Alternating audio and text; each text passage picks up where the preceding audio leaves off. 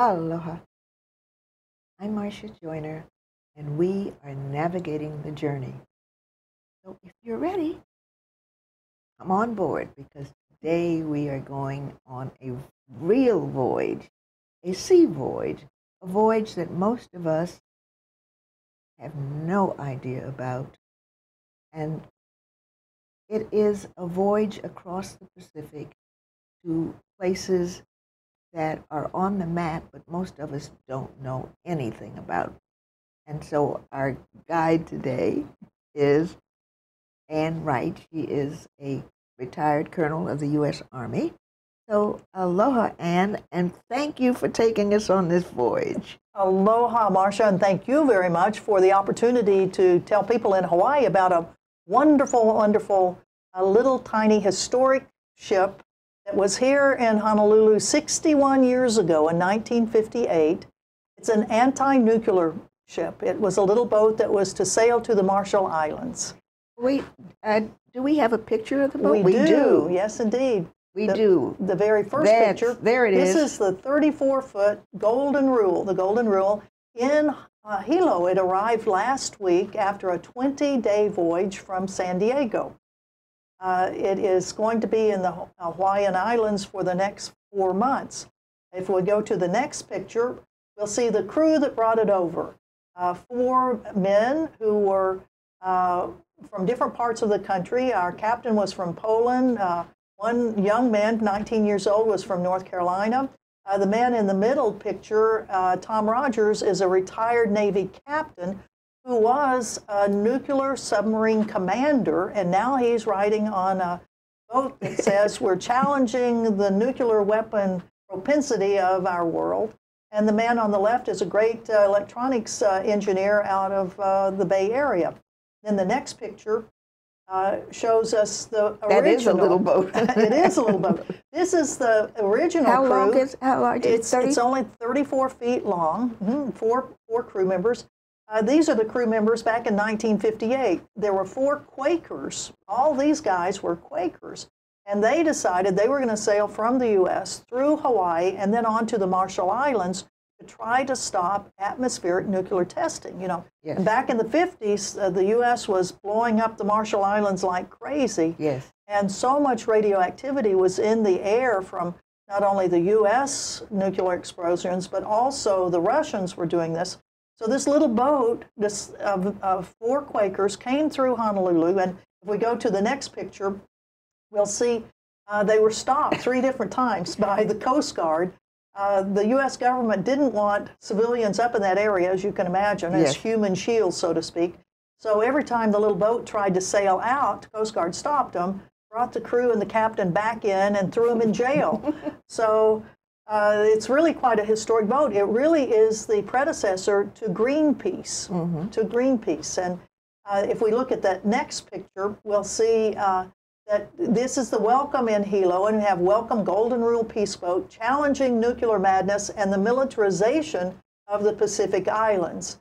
And there we have on the very left is uh, Gerry Condon, who is the national president of Veterans for Peace.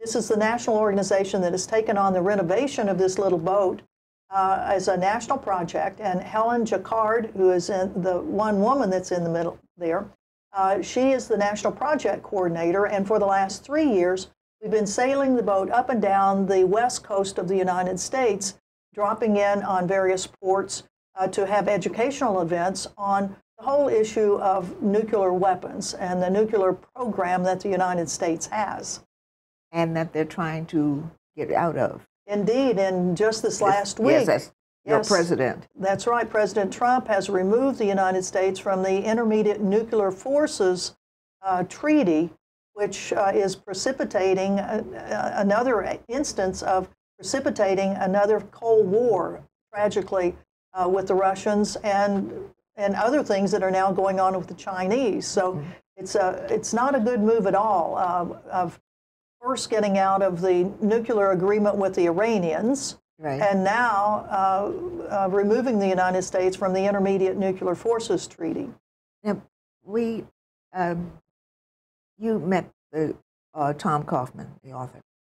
He did a beautiful piece many, many years ago called May Earth Live, which is a prayer. May Earth Live. It was, but he talks about the fact that they found residuals of those bombs right here in Hawaii at the top of the mountains. So it wasn't like it was just uh, the Marshall Islands. It was all over the Pacific. Indeed, and in fact, all over the world, the the residual effects of and the radioactive particles from these hundreds of uh, uh, uh explosions that were done, not only in the Marshall Islands, but uh, uh, the French were testing, and then the British were testing. We tested in in Nevada. all of this put stuff up in the air, radioactive things that were falling down all over the world. And in fact, that was why one why the the uh, the great movement in the United States against nuclear weapons happened back in the 60s and right. 70s because they were finding strontium 90, which is a radioactive isotope, uh, in cow's milk, and it was being transmitted into mothers right. into mother's milk. Yes, and you know we we tend to overlook all of this, but there were veterans then that were trying the radi veterans. What is the radiation veterans? Atomic because, atomic veterans, yes, yes. Mm-hmm. and they even denied. Uh, we had he's passed now a friend who was in the Navy, and he was on the uh, submarine that went up to Nagasaki right after the bombing, and picked up the American prisoners to bring mm-hmm. them out. Mm-hmm. Well, he died with 180 different cancers, all of which were denied by the military. And if you look for the record of that submarine, there is no record of it ever having been in Nagasaki. Oh it my. says they came straight to Pearl. Uh huh. Well, I don't doubt that. The classification, uh, having been in the U.S. military for 29 years and then I was a U.S. diplomat also for 16 years and ended up resigning in opposition to the war in Iraq in 2003.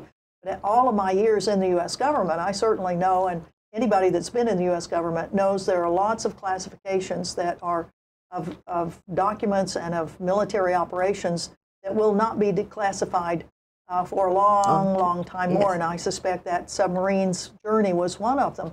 But we do know from other people the, the effects of, of that. Uh, you know, right here in Hawaii, there are, there are service members that were on ships right outside of Oahu uh, that are called atomic veterans. Right. That, that they mm. were exposed to things, chemical and other types of, of uh, harmful things. And then, uh, depending on which way the wind was blowing from the Marshall Islands, you know, whether, whether or not, you know, the Hawaiian Islands to the northwest, mm. northeast, uh, were getting that radioactivity. Well, and Guam was able to get, because they took the ships after the testing, they took the ships into Guam and to Pearl to wash them down. Now, Guam got reparations for that, uh, but we didn't because they wouldn't admit that it had happened. However, at Pearl Harbor, if you go along the fence, it tells you that it's off limits. You can't go in, you know. But they never admitted it publicly at here, yes. like they did at Guam. Mm-hmm. Well, you know, these little boats like this, the Golden Rule that we're talking about right. now, there was another boat that happened into the Honolulu harbor at exactly the same time in 1958, and it was called the Phoenix, and it had been built in Hiroshima by an American family the father was a scientist and had been sent by the uh, Atomic Energy Commission to, uh, to Hiroshima to study the effects of the atomic bombs on people of Japan. Right. His study, uh, of course, showed the horrific effects of it, and he was so aghast at what had happened.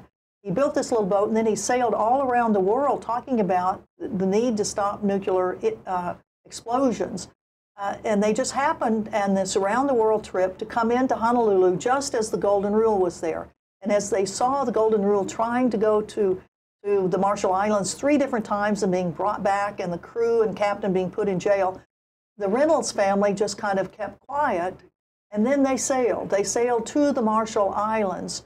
And they were able to get into the Marshall Islands and to say, We are here as human seals, let's stop this. But the whole issue of how much information we knew about what the, what the Japanese people had suffered from these atomic bombs uh, was not declassified. Uh, Mr. Reynolds' study was not declassified until, as I understand it, just a, a, a decade or so uh, uh, uh ago. So there's a lot of information that's out there, uh, and and we as citizens should be very, very concerned about this now that there's a heating up again of the whole nuclear issues and uh, putting pressure on our government to say we do not want these nuclear weapons. You know, now the, in the UN last year they passed the uh, uh, the a, a treaty saying we will abolish nuclear weapons in the world. There are something like uh, 87 countries that have already signed it. The United States has not signed it and probably will be the last one to sign it. That's why we as citizens have to really push hard. These things will kill all of us on Earth. Well, you know, here in Hawaii, we see the people from the Marshall Islands and we see their suffering. And uh, I've been a patient at Tripler since 1972. And I have a friend, and you get to meet a lot of friends when you, mm-hmm.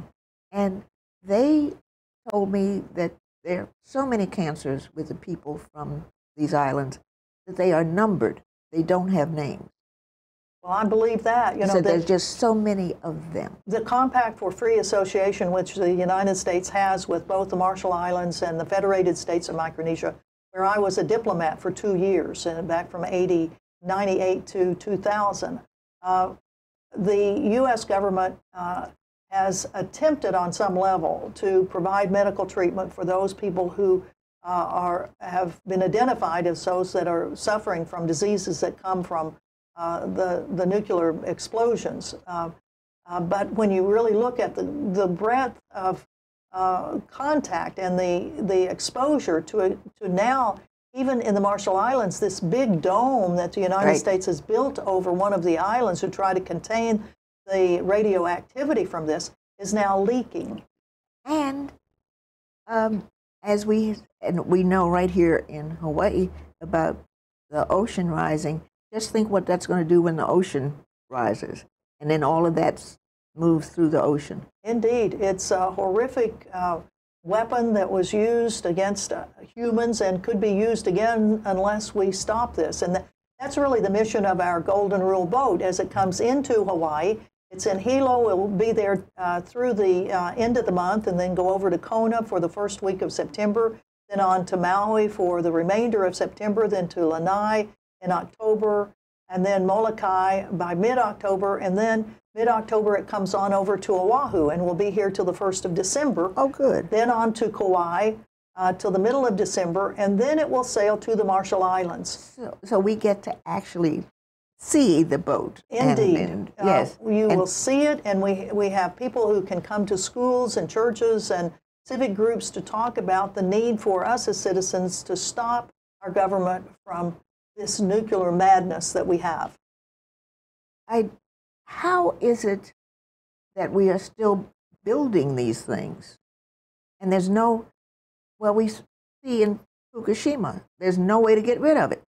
Indeed between the nuclear energy plants that flood and then explode, whether yes. it's um, Fukushima or Chernobyl, uh, the closeness that we've come from Indian Point in, in uh, New York, uh, these things will kill people. They do. they yeah, do they kill do. people, yeah. Well, you know, we need to take a break, and we will be back in 60 seconds. And then I want to know more about you, because that's a great career.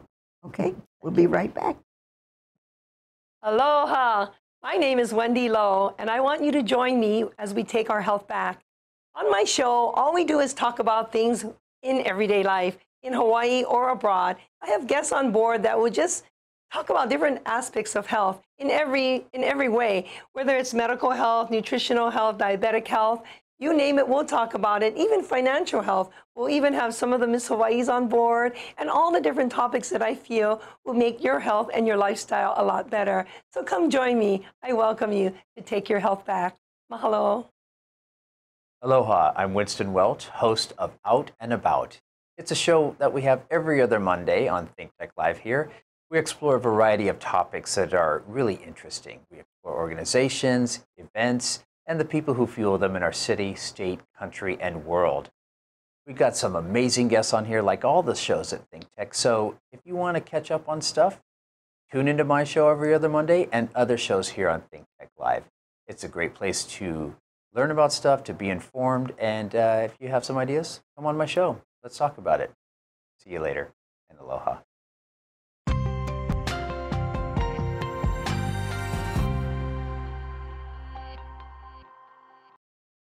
Aloha. I'm Marsha Joyner, and we're back. We are navigating the journey. And this journey today takes us out into the Pacific. So, and as I said, most of these islands are places that you hear in romantic novels, or you used to, but most people don't know where they are.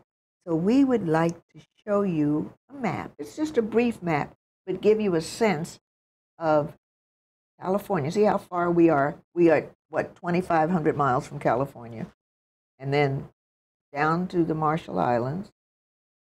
And there are a thousand little islands in that group. And then up to Guam and to Japan. Now we skip the Federated States of Micronesia, which has three time zones. That's how big it is, and that's how many islands are out there. Three time zones and on, on up to Japan. And that's that's the route of the the boat. The Golden Rule, yes, it is. Yes. The- Do- how many of the islands, the Marshall Islands, do you visit, or can you visit? Will you visit? Well, uh, we'll we'll stop at the very first island, or the big island where the capital Majuro is, Majuro. and then it depends on uh, how the the government of uh, uh, the Marshall Islands where they would like for us to go. You can pretty well be assured we won't be going into Kwajalein, which is the U.S. military base, base. there. Yes. Uh, the end of the uh, Mars Road on that same island, yeah. same Well, peninsula or whatever you call it. Uh, yeah. yeah. Well, Well, what I want you to do before you leave, I want you to meet. You probably know Ikaika Anderson. He's chair of the city council. His wife is from Majuro. Oh. You must meet her. It would be our honor to. Yes. Thank you. We have met with the Consul General of the Marshall Islands here and briefed her on the Mm-hmm. She's a lovely person, trip. yes. She is indeed, yes. And we're looking forward to meeting uh, the president of the Marshall Islands and, and her daughter, who is a wonderful, wonderful poet who has uh, written and said some, uh, some written word, spoken word, that is so remarkable about the plight of the people of the Marshall Islands uh, with this legacy of, of nuclear explosions there that have just destroyed, decimated, incinerated uh, islands of Yes. theirs. One island, that hole in the middle of the ocean, is just Yes, just gone, gone. gone. Yeah. And uh, so we, we will go to as many of the islands as uh, the government of the Marshall Islands would like for us to be and to go to. We would love to drop down even further down to the Federated States of Micronesia, but we're kind of on a timeline. We want to get uh, to uh, Japan and uh, Hiroshima and Nagasaki by August of 2020. And we'll, we'll probably continue on over to Guam, where again there's a US, large U.S. Base, military yeah. uh, presence, not only Andersen Air Base, but also a large naval base that's there, and a lot of um, movement from U.S. military from Okinawa because of the great citizen um, m- movement to try to reduce the number of U.S. bases on Okinawa. And some of those uh, military are being sent down to, to Guam. So we will stop there, and then we'll probably stop in Saipan and go on up through the northern Marianas, and then finally reach Okinawa, where we will uh, be for a long period of time because of those U.S. military bases. Now, I have to tell you that Rota, you know, right outside of Saipan, is the prettiest island in the world. It is just absolutely delightful. Well, and And you know, Tinian, Tinian, Tinian is another one of those islands, and that was where the air base was, where uh, the U.S. bombers that actually dropped the bombs on Hiroshima and Nagasaki, they took off from Tinian. And then another island, Pagan, is one that the U.S. military is thinking about uh, doing to it what it did to Kahoolawe, using it as a bombing target. So that we want to go because we don't agree with that. The No. militarization that we have in the Pacific by the U.S. and I say this as a person that's spent 29 years in the U.S. military. Uh, we should not be uh, using all of these these places, um, uh, p- other people's lands to bomb and practice uh, practice this stuff is is not right, and they are telling us it's not right.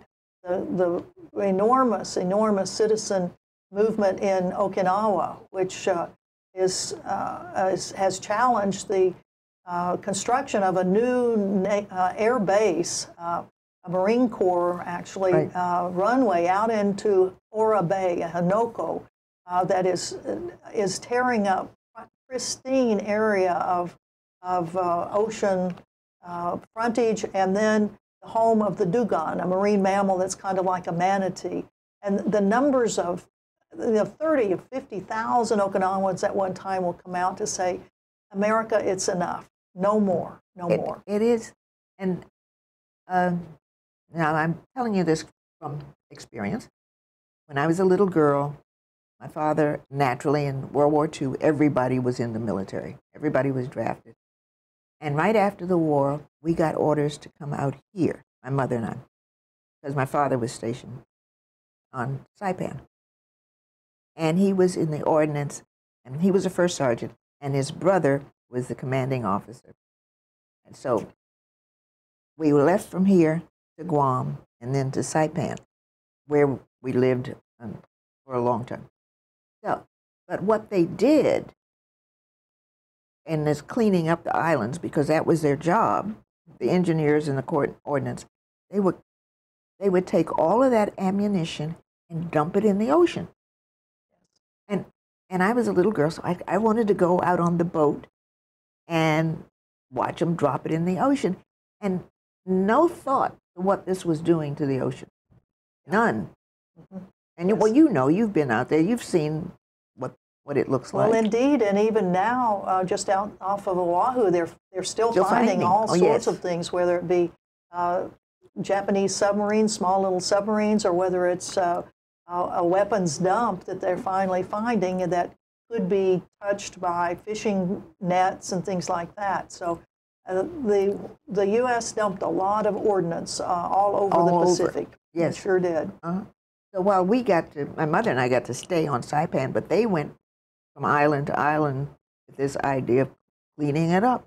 And that all it did was move it off land and drop, it in into the sea. Mhm. And that was the cleanup method, mechanism of that uh, time. But then you look now at, at the last 15 years, uh, U.S. military operations in the Middle East, in Iraq, Afghanistan, uh, Syria, and you think about the numbers of bombs that have been dropped in those areas, uh, uh, the, the numbers of deaths from them, of course, uh, but the ones that didn't explode that may be going to kill people in the future. yes, Uh, the, the amount of ordnance that the U.S. military is capable of dropping in, in any sort of conflict is mammoth.